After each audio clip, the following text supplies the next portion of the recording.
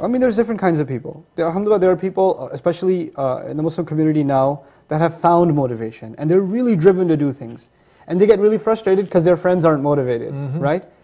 First of all, you have to be patient with your friends because you weren't always motivated yourself. It took a while to get you to a certain point, right?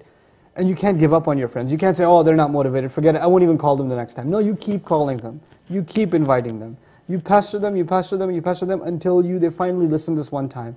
Because it all, all it takes is one reminder coming out of somebody's mouth, and by Allah's permission, that reminder is like a bullet that goes through any bulletproof vest and goes right into the heart. And it hits a person and it can change their life. My words and your words can't change anybody. But when Allah puts power in our words, He decides one time for this one person, it could be a million people watching this video.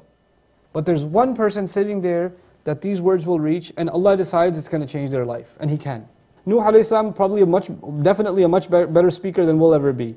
He's talking for how long to the same audience? 950 years. Nothing changes, right? Which means for us, we can't quit reminding, and we can't quit rem- remembering that Allah is the one who changes people. And motivation is like that, it'll come over time.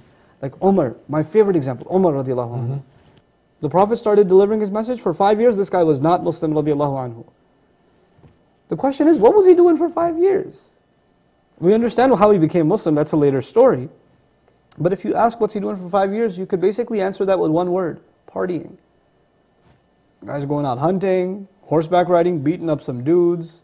So if you call him, hey, have a, let's have a discussion about the purpose of life, or about the afterlife, or I gotta go shoot some spears or something, you know what I'm saying?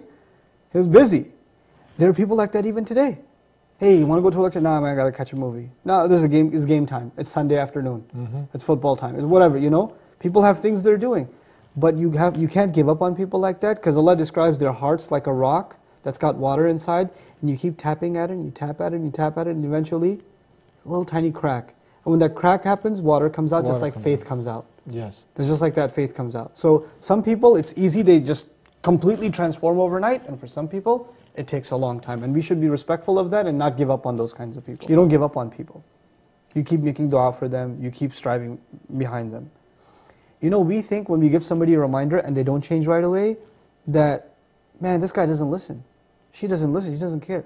We don't realize when you say something to somebody, it goes inside the ear. It's like a, it's like getting exposed to allergies. It sits there, and after a while, you react, right? Mhm. It's like that. It can sit there and simmer and simmer and simmer, and eventually, it comes out as Islam. That's actually what happened with Omar, The story of Omar. He heard Islam way back, early on. He heard it from the Prophet himself. He tried to beat up the Prophet one time before he was Muslim. He hid behind the veil of the Kaaba at night time. The veil is black, the Kaaba is black, and he's hiding behind it. It's completely invisible. There's no light lighting at the time. And the Prophet was praying and he hid behind it until he snuck right in front of the Prophet. The Prophet was reci- praying and reciting Quran. And he recited and he thought, Umar's listening to the Quran and he thinks to himself, this is beautiful. Wow, he must be a poet. He didn't say it, he was thinking it. And the Quran says, وَمَا هُوَ بِقَوْلِ شَاعِرٍ It's not the word of a poet. The Prophet didn't hear him, but this was the next verse that he was reciting, the next ayah that he was reciting. Umar said, How do you know that? He must be a mind reader. The next verse, the next ayah is وَمَا, بقولي, وَمَا هُوَ بِقَوْلِ كَاهِنٍ It's not the word of a mind reader. قَلِيلًا مَا تَذَكَّرُونَ How little you like to remember. How little an effort you make to truly remember. تَنزِيلٌ مِّن رَبِّ الْعَالَمِينَ It's the revelation from the master of all worlds.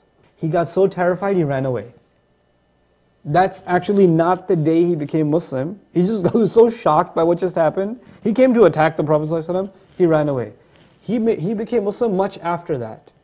But you know what? The first crack had already been caused.